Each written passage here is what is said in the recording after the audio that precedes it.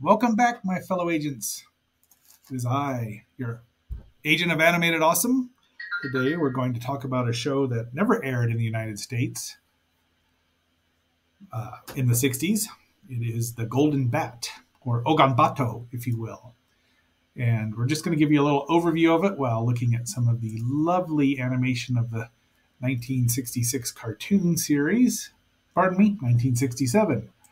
Um, so we're not going to watch too much of it because I think that's what sealed my doom. This probably isn't so so unusual, or it's not on YouTube anyway. Although you can find uh, dubbed versions in French, I believe, on YouTube. Be that as it may, the Golden Bat has a long, a rich uh, history here. It was um, one of the first, uh, according to uh, Wikipedia, it was this superhero, though he wasn't, I don't think he was a superhero, was created in 1930 as a Kamishibai a paper theater. Now, he looks like a Western hero to me, like, say, a cowboy with, but I don't know. I've never seen any. Um, and uh, they're saying that he was a comic book hero, but I mean, there were, I don't know. It doesn't matter really. but 1930, so that's pretty darn early for heroes. Though I mean, superheroes like Samson, you know, strong men have existed all throughout history, and strong women too, for that matter. Atalanta, super fast. Just to name examples, they just weren't in book form or comic book form or paper form. Be that as it may, it was created by 16-year-old Takeo Nagamatsu and 25-year-old Suzuki Ichiro in 1931. That just says up there, there's two different things here. Thanks, Wikipedia. So, according to them, that the character was in three live-action movies. Uh, one, uh, Oganbato Matenro no Kaijin in 1950, Oganbato 1966, and apparently something Ogambato ga in 1972. I've only seen the movie and like seven of the episodes of the cartoon, but since the cartoon is uh, here and I have it subtitled a bit, we will, um, not a bit, I didn't have it subtitled. I don't remember who did. We've only done four. There's our hapless hero, uh, the professor. So um, they're on their way to Atlantis. And of course, there's the daughter. There's, she's obviously uh, an American. I believe she's she's not in the um, yeah Emily Beard is her name. So this uh, came after the movie, and the professor is absent-minded, of course, and he's there. Uh, let's see what we got here. Skipping about a bit. It's not going to be a long one. Oh, and let's get back. All right. It would be scary. So our villain uh, as of right now, who's been destroying ships, is Nazo, a sinister being. And he's got a claw for his left hand and four eyes that are all of different colors. He's a little scarier in the cartoon. The comic book, or pardon me, the movie tried to do it a little too literally, and his ears look a little ridiculous. There have to be some adaptations for live action. There just have to be. I realize that now. As a kid, I was a little more stringent, but eh, live and learn, right? The movie uh, had Sonny Chiba as Dr. Yamatone, um, Wataru Yamakawa as Akira Kazahawa. You can watch it on Tubi under the title Golden Ninja, which makes no sense because you hear them say Golden Oganbato the whole time, which Ogan is Japanese for gold. So it uh, uh, Koji Koji Sekiyama is the voice of Nazo. Well, maybe I don't know. They don't give a lot of. Oh, here we go. no, I don't have anything in here about the comic, the cartoon that we're watching or seeing pictures of. And not listening to at all. It's got a great theme song.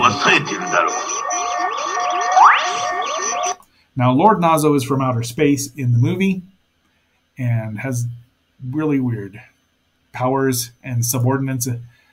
But I haven't seen enough of the. He's got a lot of weird powers and the same powers. It's basically the same story. He wants to conquer the world, and our heroes are looking for the lost continent of Atlantis.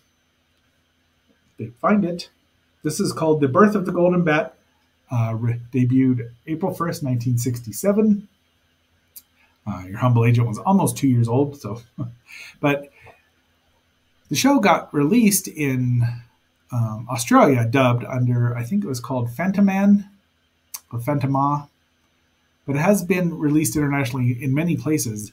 These this is a fan subtitle, which I really appreciate because it just would I would have loved this cartoon as a kid because it's got heroes, a strange hero. Uh, the studio is Daiichi Doga. Um, and it was uh, in Australia. It was on Nine Network. It ran from April 1st, 1967 to March 23rd, 1968, with 52 episodes. No movies.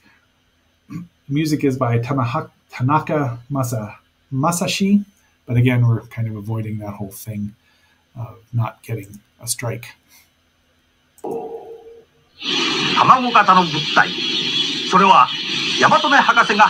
Now look at that, the supercar. Does that look like a supercar?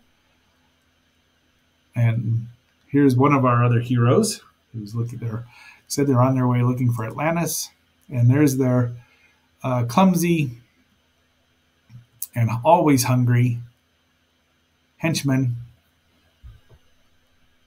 obviously. And I don't remember either of these two names of the boy or the henchman, so I apologize. Oh, Dario is the henchman. Well, not the henchman. He's just the subordinate for the professor.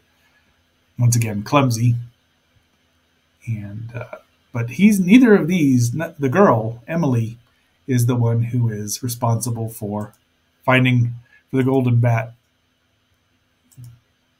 Oh. And they're obviously supposed to be Caucasian. So this is an unusual one where they don't have the a cartoon in Japan from Japan in the 60s where they don't have the gigantic Disney eyes. Also something that makes it unique. the character is still around.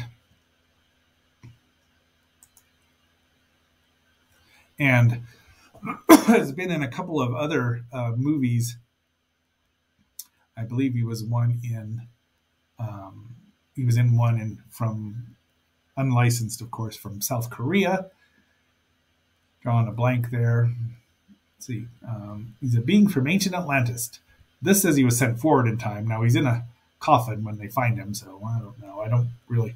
I trust this less and less. So there was a new manga adapt- adaptation. Yeah, illustrated by Kazutoshi Yamane, and um, so I don't know.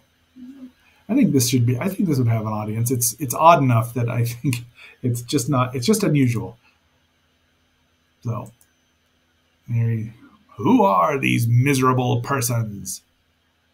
Five Finger is obviously the monster that they're using this time. Takaru. Takaru is the boy. Go. Boop. The supercar is a pretty cool idea, and I would like to have one. It's you know has whatever function it needs uh, that for whatever episode. They've rescued the daughter, Emily. And Ganbare. Even I know what that is without translation.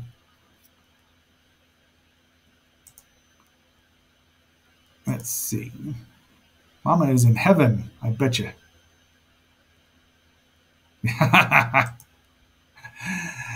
Um, so now they're in Atlantis. Oh, that's really noisy. Sorry about that. There's always old bones. Why are you scared of bones, you bone? Speaking of boneheads. So he's also, as the size of him, he's not as brave. They're just laughing at him. know there's some big feet the, the doctor has got there. Divining. Oh, I don't know that that really works. And you're sticking it down a, a well. Hmm, more ping, more penguins. This is just for some comedy bit. And we're about to see Nazo's ship, I would be willing to bet. It's been a minute since I've watched these. I've had them for several years, and unfortunately, they only subtitled the first four, which I was hoping meant it would be released sometime in this country. Um, yeah, Hung Xing Hung Ray or something. Uh, Reptilian. There's the movie. Let's see if I can find the movie. I'll tell you. There it is. 1999 uh, remake of. What happened here? That must be the. There it is. Weird drill ship. This looks great in the in the live action movie. Live action movie shot in black and white, which is highly unusual at the time. Uh, Xing Hung Ray. Shim Hyung-rae. Let's see if uh, I can pull up any more. Did he? Yeah, he made a lot of things that were allegedly com- comedies. I didn't mind the Yongary remake and his Dragon War, uh, which are both in English. But yeah, he's um, as a director, as an actor, yeah. Urumei Seven, Sparkman. Um, I don't even know. I've seen a couple and they're difficult to get through. So I enjoyed Yongary because he's not in it. he knows how to direct a movie and he was very popular. Go figure. Anyway, so the Golden Bat I think appeared in one or two of one or two of his movies, or at least a couple in the um, in that part of the world. They might not have been from the same guy. Oh, look, let's get some water. No water there. Denied. There's the Golden Bat himself.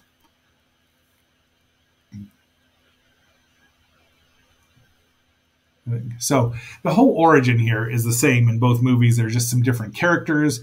Uh, in the black and white movie, they're dressed up in their Science Patrol garb, silver garb, um, or whatever Inframan had. But I haven't watched it recently. Although the print on it's available on Blu-ray if you want to buy five of them. But there's there's no dubs there. They have Magic Serpent and uh, one uh, um, Watari Ninja Boy, which never had a dub, and of course Golden Bat never had a dub. And two other ones I'm drawing a blank on. Uh, but there are a lot of they're they're fun movies, and if it wasn't a fifty dollar set, I probably would have bought it. And had they included the English dub for uh, the Magic Serpent, I definitely would have bought it. But uh, always hungry. Okay. Oh, skip ahead a bit more here. I think she's going to cry, which activates the Oh, so the monster is trying to get to him. Another path. Dun dun dun.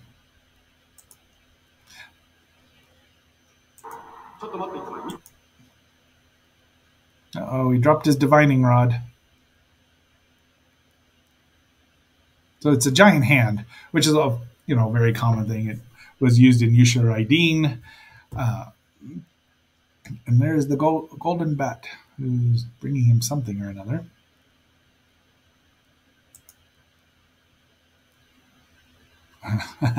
so see, he is under that stove. See, so the strong man comes in handy, finds the water.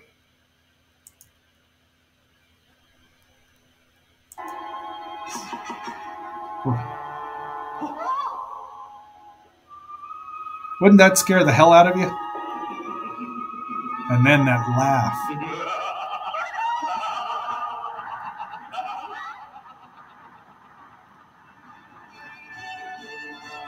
There's his silver baton, and he's obviously very strong. So he defeats the hand in short order, and then they tell, throws it back at Nazo, uh, which means mystery or mis- mysterious. I had that looked up at one point, or it's written down because I plan to do an episode guide of this in Xenorama, the Journal of Heroes and Monsters, available on Amazon. And speaking of that, while we're there, Please like, share, subscribe, vote in the poll if you haven't already. Or if you've watched this long, thank you. And I hope you've watched at least two or three minutes or listened to it for two or three minutes wherever you find your uh, your podcasts. Um, and I hope you're enjoying your big bowl of hummus of perfection. So let me get back over here. And I forget where I was, but yep, kaboom! The golden bat's very powerful.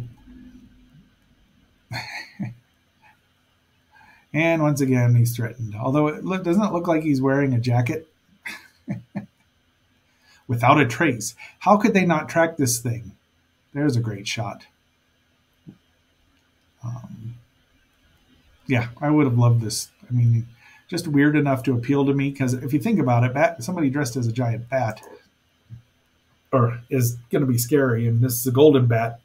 In my mind, you know, if this had been sub or uh, dubbed into English, I mean, there's no blood. There's just a spooky looking hero. It was very popular in Australia.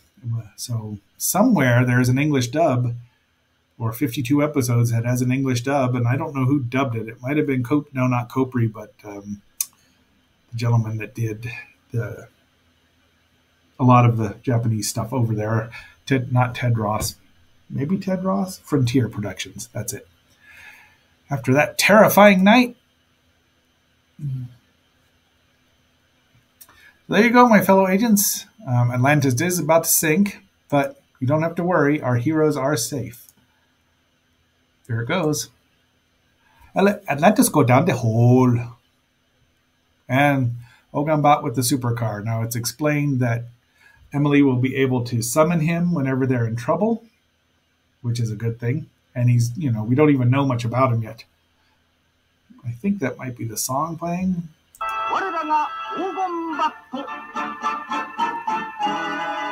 Dun dun dun. So that's it. Um, that's pretty much how we're going to leave it. In fact, we're just going to close this right up and